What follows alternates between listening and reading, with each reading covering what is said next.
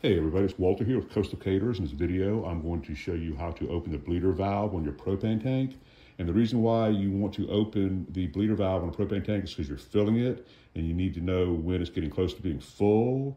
And the bleeder valve being open will allow you to do that because inside of the tank, next to the main stem, there's a small tube that runs along the main stem and it goes to the bleeder valve. And when your tank is getting close to being full, a little bit of propane will start coming out of what's called the spitter part of the bleeder valve. And we'll get into that right now. But first, if you haven't had a chance to subscribe to our channel or give this video a like, we really appreciate that. Now, generally, the bleeder is going to be located on the left side of the tank as you're looking at it, and you're going to need just a flathead screwdriver to open it.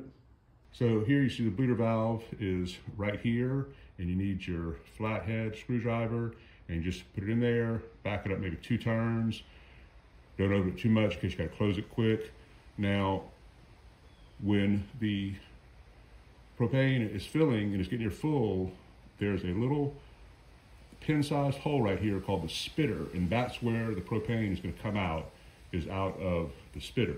So then once you see that happen, you just close the bleeder valve and your tank should be full.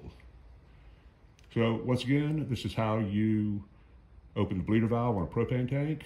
Hope you enjoyed it. Hope it helps you. Have a great day. Thank you for watching.